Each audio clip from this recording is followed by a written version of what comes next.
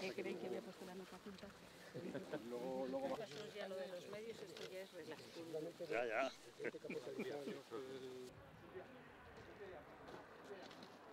Hay un trocillo todavía. Bueno. Yo que está rota. Claro, es que Pero bueno, es lo que es, o sea, yo allí siempre lo veo como, como un sismo muy masivo. que- Qué bonito. Madre mía. Madre mía. Vaya vista. claro, cuando vas para allá bien, pero luego tienes que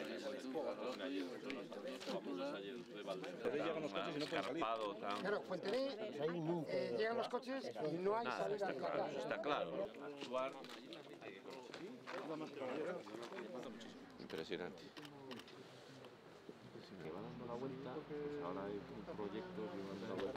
Pero no afecta a nada de todo esto.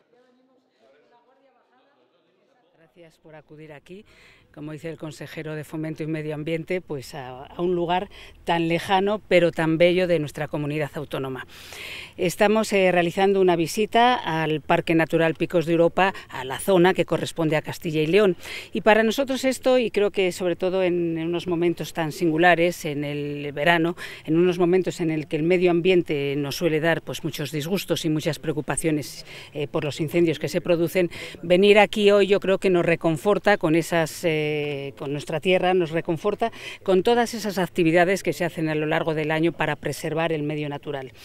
Este enclave, como decimos, es uno de los más bellos de España. Es un lugar en el que tenemos que hacer un ejercicio de coordinación porque corresponde a tres comunidades autónomas diferentes la parte de gestión y de mantenimiento. Saben que está Cantabria, que está Asturias y que estamos nosotros, Castilla y León, a través de dos municipios, a través de Oseja y a través de Posada de Valdeón. Estamos, eh, eh, como les decíamos, eh, viendo y recordando bueno, pues todo, todo eso que significa el medio natural para nuestra comunidad autónoma, que es una de las mayores fuentes de, riqueza, una de las mayores fuentes de biodiversidad y uno de los emblemas de nuestra comunidad autónoma. Cuando hablamos de Castilla y León, el medio natural siempre tiene que estar ahí. Pero no tenemos que olvidarnos que el medio natural en este caso y concretamente con los dos municipios cuyos alcaldes nos están acompañando es también su medio de vida. Estamos hablando de preservar el medio natural, pero también preservar que, en estos municipios se desarrolle una calidad de vida y que se convierta en una forma de convivencia entre los dos, es decir, no interfiere el preservar la naturaleza con el desarrollo, eh, no interfiere con aquellos proyectos que quieren hacer las personas que vivan aquí y esa es quizá el encaje de bolillos que tenemos que hacer entre los responsables municipales y las administraciones. Afortunadamente, en este momento creo que hay muchos proyectos en marcha. Hay muchos proyectos eh, que buscan no solamente atraer el turismo en estas épocas, sino durante todo el año. Es muy importante para nosotros que eh, durante los 365 días haya posibilidades de hacer actividades en esta zona y que siempre pues, tengan esa, esa parte de riqueza que atrae el turismo. Hay proyectos tanto de rutas senderistas como de, como de diversas competiciones, como de diversas eh, formas de, de, visualizar, las dos casas del parque que se están ahora construyendo, que creo que van a ser un emblema para las dos localidades, casas del parque que también tienen que ser un motivo de, de atracción. También eh, queremos pues, aprovechar hoy para que ellos nos cuenten eh, todas esas eh, dificultades que a veces se encuentran a la hora de desarrollar los proyectos, porque tenemos muy claro que nuestra obligación es agilizar, agilizar los, proce los procesos, simplificar en la medida de lo posible. Todos sabemos que es muy complejo cuando hay medio natural, tenemos que ser muy cautos a la hora de autorizar algo, pero ello no impide que lo hagamos con una cierta diligencia. Y además en este año especialmente pues, se han recuperado esas ayudas por parte del Ministerio en el reciente mes de julio se aprobaron ayudas para picos de Europa que irán destinadas no solamente a los ayuntamientos, a esos proyectos que ellos planteen, sino también a los de particulares, es decir, personas con iniciativas o pequeños empresarios que quieran hacer algo que redunde en el desarrollo de las, de las dos localidades. Por eso nuestro, eh, nuestra tarea fundamental hoy por parte del consejero y los responsables de la consejería es escucharles, escuchar a los alcaldes y en base a lo que ellos nos planteen, pues ir iremos viendo qué fórmulas tenemos de colaboración y como les digo, siempre con esa premisa eh, que el medio natural hay que conservarlo, el medio natural para nosotros es una fuente de riqueza en todos los sentidos, pero evidentemente no puede interferir con el desarrollo de los pueblos en los que están ni con el desarrollo de las personas que quieren vivir aquí. Una de las preocupaciones que siempre hay en esta zona en relación al parque es eh, la desigualdad en el número de visitantes que existe en Castilla y León respecto a las otras dos vertientes. No sé si se tiene ya eh, algún plan de actuación en ese sentido. Ese es uno de los aspectos que queremos hablar con ellos porque efectivamente les preocupa la desestacionalización, porque no queremos una concentración. De hecho, mm, piense que tampoco buscamos un turismo. El, el medio natural tiene que tener un turismo suficiente, pero también es incompatible con un turismo masivo. Por tanto, no se trata tanto de la cantidad, que es cierto que no en las otras vertientes, pues quizá por tradición, quizá por los años de evolución. Piensen que, bueno, que, la primera declaración de parque natural correspondió solamente a la zona de Asturias y hace casi un siglo. Es decir, que llevan unos años, podríamos decir, eh, con mayor eh, tradición o con mayor cultura. Pero nosotros no buscamos ese turismo masivo, buscamos un turismo acorde con las condiciones naturales y permanente. Mm, por eso, en ese sentido, sí que que vamos a trabajar, pero como les digo, mm, teniendo en cuenta que la masificación en este caso no es el objetivo.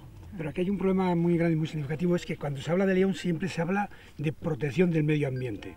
Nos habla en Asturias, nos habla en Cantabria. Y eso está paralizando muchos proyectos necesarios en Oseja y necesarios en Posada Valdeón para el desarrollo turístico de esta zona. Bueno, pues esos eh, instrumentos de coordinación que además la propia normativa, eh, la ley aprobada el año pasado nos va a obligar a tener, esos instrumentos de coordinación también van a trabajar en eso. Es decir, las condiciones o las exigencias o esas partes que, dificultan un proyecto tienen que ser igual en los tres lugares. Es decir, no puede haber que una comunidad autónoma, eh, teniendo en cuenta que estamos protegiendo un mismo lugar, un mismo parque natural, haya diferencias entre las comunidades autónomas. Ese es de los retos que tenemos que abordar porque evidentemente mm, no, aquí no podemos decir que seamos diferentes. En esto tenemos que tender a la igualdad y desde luego no se van a paralizar aquí proyectos que en otros lugares sí se puedan hacer. Igual de exigencias e igual de responsabilidades en las tres comunidades gustaría a mí preguntar también si es posible por incendios forestales. Es inevitable ahora. Sí. Lo sabe mejor el consejero. Días, eh, este fin de semana o en estos últimos cuatro días, eh, dos incendios al menos en la comarca del Bierzo intencionados. No sé si hay alguna novedad, porque en el caso de Peranzanes estaba ya buscando al, autor. No sé si hay bueno, la novedad principal es que están controlados y por tanto ahora mismo, a, esta, a esta hora, tenemos una situación de tranquilidad en la, en la, en la provincia, pero sí es cierto, es algo que es público y notorio. Eh, León y Zamora eh, llevan la inmensa mayoría de los incendios forestales que se han producido en la comunidad de Castilla y León. Eh, yo ya lo he dicho alguna vez más, lo hemos dicho en la visita que hicimos hace poco a Sanabria, hace escasos días, que, existen muchas zonas forestales en la comunidad autónoma, muchas. Sin embargo, los incendios se concentran esencialmente en la provincia de León y en Zamora, y especialmente en la provincia de León, y especialmente en el Bierzo, especialmente en la zona de la Cabrera. Mm, lo que yo tengo que decir es lo siguiente. Por un lado está la investigación que hace la Brigada de Investigación de Incendios Forestales de la propia Junta de Castilla y León para establecer administrativamente las causas, las consecuencias y, por tanto, las responsabilidades del, siniestro. Y, por otro lado, está la investigación judicial, la investigación judicial que lleva a través del SEPRONA de la Guardia Civil. Y eh, para ambas eh, instancias yo pido la colaboración de los ciudadanos. Eh, y yo sé que es muy difícil llegar a una identificación de un autor y una condena de unas penas enormes con las que castiga el Código Penal este tipo de incendios. Piénsese que son penas que incluso pueden superar los 20 años de prisión es penas de asesinato, aunque no haya habido ninguna víctima. Entonces hay que concienciar de la importancia del bien jurídico. Cuando el Código Penal castiga esta, este ataque al medio natural con penas como un asesinato, hay que pensar que es que se está valorando desde el punto de vista de la Constitución, que está eh, prevista la protección del medio natural, y desde el punto de vista de la Constitución en negativo, que es el Código Penal, la importancia enorme que tiene este bien jurídico para, para nuestro país y para nuestra comunidad. Por lo tanto, pido la máxima colaboración para que la Guardia Civil pueda hacer su trabajo e identificar a los autores. Y Sé que es difícil identificarlos y llegar a una condena y hemos vivido un proceso judicial reciente en León donde finalmente no tuvo un resultado exitoso respecto a la identificación de un autor condenado y hasta que los jueces no condenen por sentencia firme no se puede decir que esa persona sea la autora. Por tanto, es necesario extremar las garantías en la investigación para que las pruebas sean contundentes y no haya lugar a absoluciones y se condene y se identifique a la persona verdaderamente autora. Pero aunque no se llegue ahí, eh, los pueblos saben quién quema los montes. Caramba, que haya una, una, una labor de aislamiento de, estas personas, una labor de, protesta ante estas personas, por tanto una labor en la que mm, consigamos finalmente que estas actitudes eh, tan mm, dañinas para el medio natural y por tanto para las personas se terminen. León destaca especialmente por ello. 5, 7, 4 focos, es decir, no, no hace falta ser un técnico para saber que eso es provocado. Por lo tanto, el 52% de los incendios se provocan intencionalmente y otro 40% eh, de forma imprudente. La mano del hombre está en todos ellos. Por lo tanto, no podemos evitar eh, que haya altas temperaturas, que haya sequedad, eso no podemos evitar, pero la mano del hombre sí la podemos evitar y en consecuencia vean lo que ha pasado en la Sierra de Gata, que gran incendio, acuérdense de lo que pasó en Castro Contigo, tan terrible incendio, eso está en nuestras manos evitarlo en un 92%. Tendamos a ello y colaboremos todos para que eso sea así.